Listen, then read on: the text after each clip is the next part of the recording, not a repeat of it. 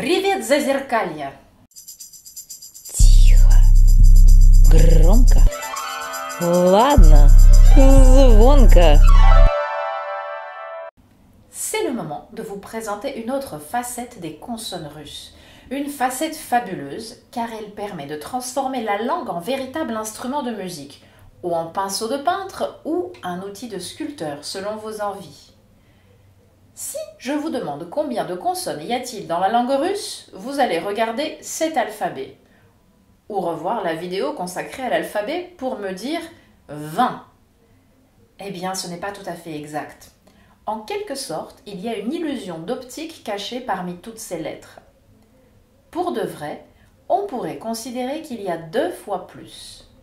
Et oui, presque 40. Regardez ce M, si facile à reconnaître. Pour prononcer correctement le russe, nous devons savoir prononcer deux M différents. Un M qu'on va appeler dur et un M qu'on va appeler mouillé. En français, il existe au moins une paire de consonnes dures mouillées, mais vous ne le savez pas.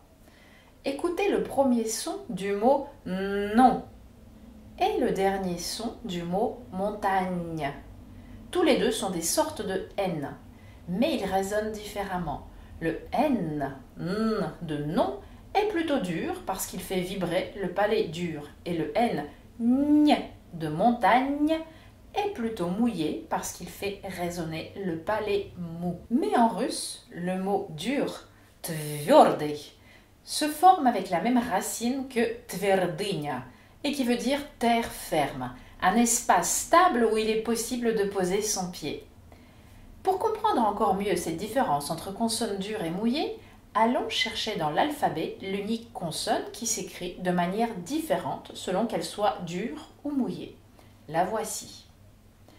Toutes les deux sont une version du son français ch, ch, qu'on écrit dans les mots chat et chien par exemple.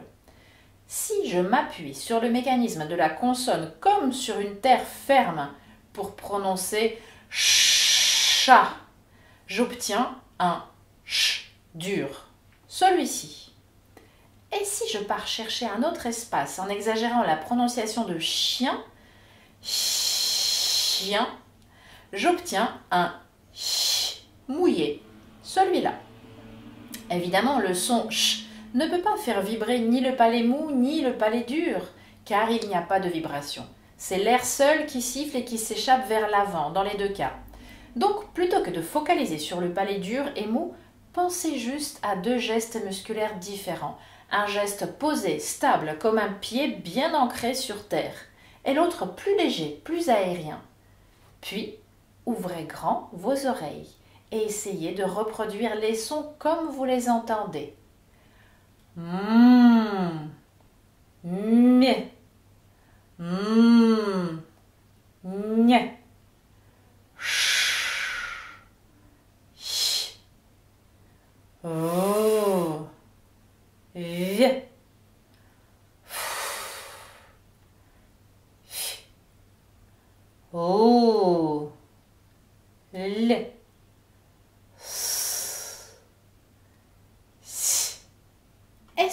Important de faire tout cet effort pour les différencier Et qu'est-ce que ça change si on le fait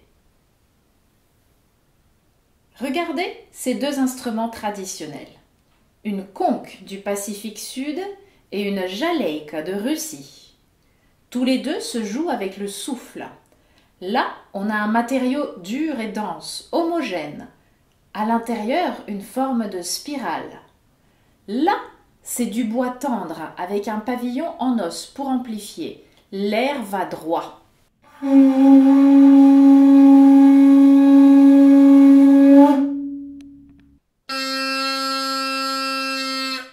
Évidemment, le son n'a rien à voir, car ce ne sont pas les mêmes instruments, matières différentes, formes de caisses de résonance différentes, pourtant c'est le même souffle qui joue.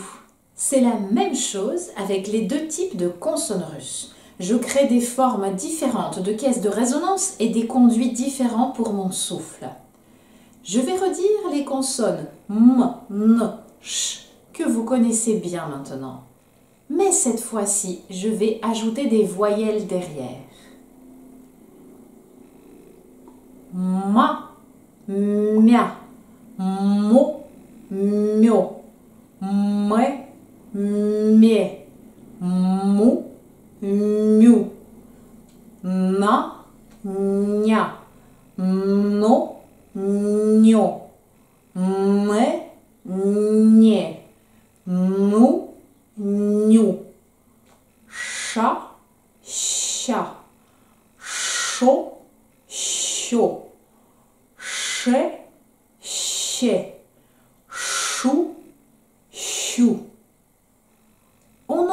que la voyelle derrière les consonnes résonne différemment selon que je prononce une consonne dure ou une consonne mouillée.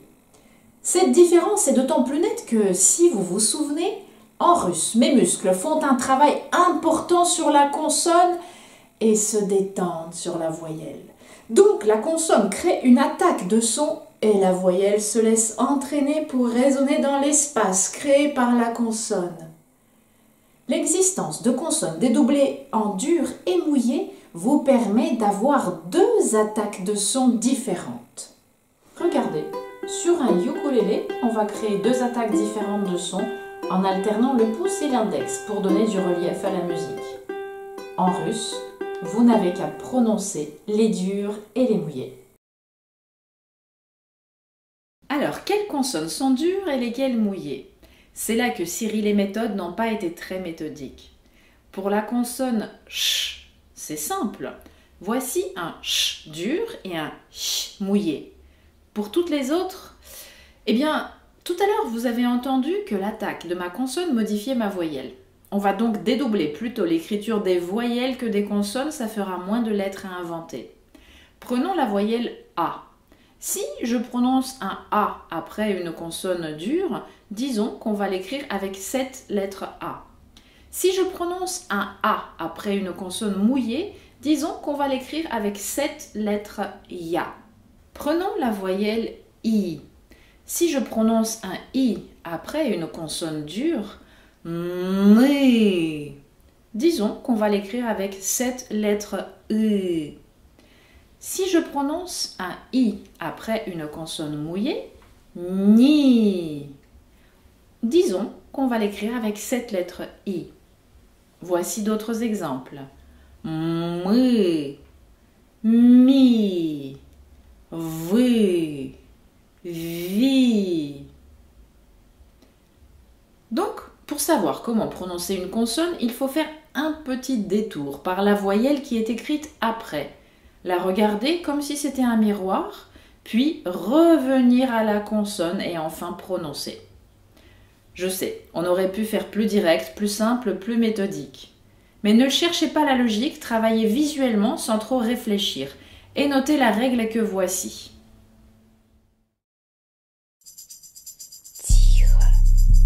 Громко. Ладно. Звонко.